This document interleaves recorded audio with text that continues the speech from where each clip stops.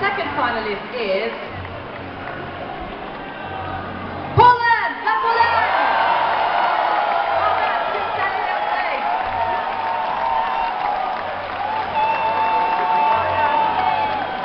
The next finalist is...